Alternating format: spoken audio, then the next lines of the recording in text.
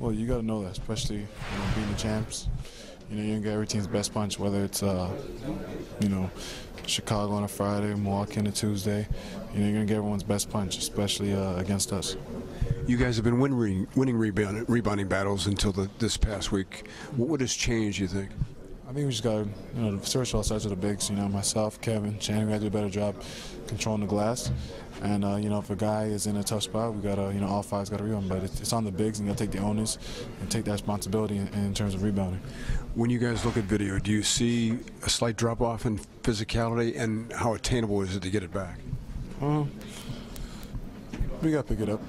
You know, starting with myself, you know, I got to be an anchor in terms of bringing that toughness and physicality. You know, that's my job. That's what I bring to the team. So if it's not there, I got to take ownership and I got to be better.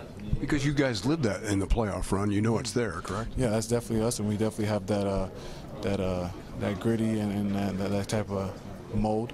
So we got to take it up another level, and, and it starts with myself, and then it trickles down to everyone else. Because you know in Toronto on Monday, that's going to be a heck of an environment. Uh, you guys have beaten them twice already. Yeah, no, they're definitely uh, got a circle on their calendar, licking their chops, and they want a revenge, and they want to, uh, you know, send a message to us.